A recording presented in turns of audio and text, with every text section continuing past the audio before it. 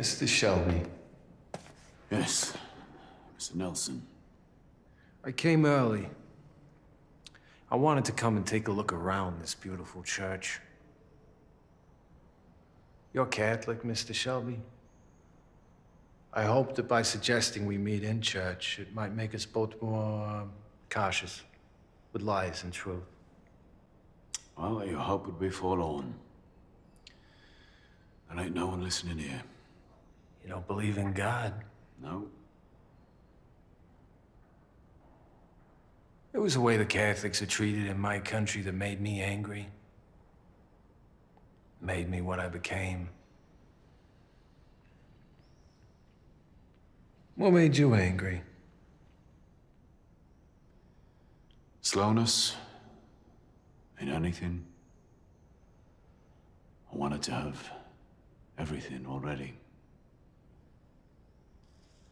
Two working class Catholic boys.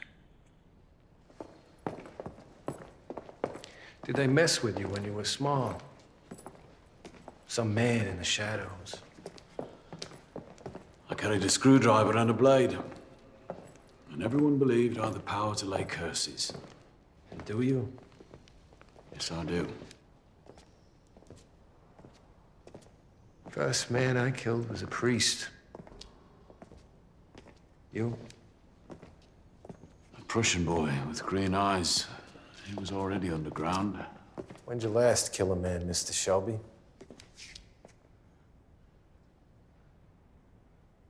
Four years ago. His name was Thomas Shelby. He drank whiskey. You want me to allow you to enter my city and deal narcotics that'll kill people? You're dealing whiskey, Mr. Nelson. I recently read a report by the Vatican, actually, which said that whiskey disproportionately kills more of our Catholic brothers and sisters, whereas opium is the sedative more often chosen by Protestants and atheists.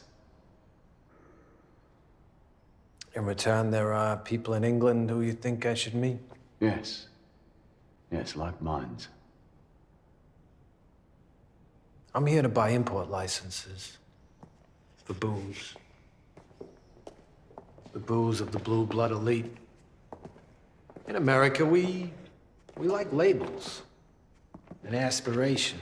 Well, I have a brand of my own vodka and gin. You can add that to your portfolio. I hear Shelby labels are favored by the working class. Indeed, a fact of which I'm very proud. They say you're a, a poet too. No, only read it. There are some people in this country who I'd like to meet. Fascists. Not the ones in boots and black shirts, the ones in tuxedos. I know men who are friends of the cause. I also know men who are enemies of the cause. For many years now, I've been working closely with Winston Churchill in many different capacities. I have his trust. He is opposed to the rise of fascism. You, I believe, see it as inevitable. Well, I can give you men of influence who support your cause. I can also offer you a full report on Churchill's strategies. All this in return for access to South Boston? Alternatively, you can take on Churchill on your own without my intelligence. And I could sell me opium to the Jews.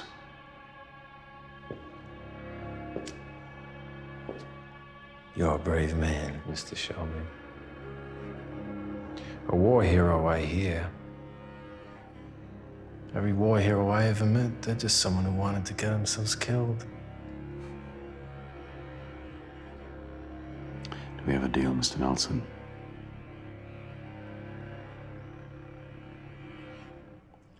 I'll think a great deal about what you've said.